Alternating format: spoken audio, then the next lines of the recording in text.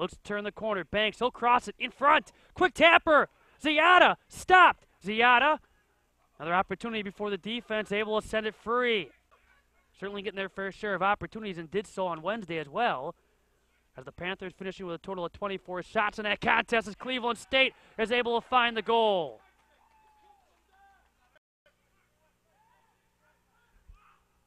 Suljovic goes to the wing. Nice pass. Nice finish. A goal for Zach Ellis Hayden along the near side. Suljovic on the assist. A 2 0 advantage for the Vikings. That comes in the 36th minute. Panthers have an opportunity. Trying to find Langford. Nice feed, Ziada. Keegan Ziada. Oh, it's punched away by Brad Stuver. Off the head of James. Saavedra Saavedra maintains his footing. He'll take a strike. That's batted down again by Brad Stuver. And now along the far side, they have Justin Creed positioned there. Here comes Robert Rafai. Rafai cuts in. Rafai! Oh, kicked away again by Brad Stuver before it's sent out of play.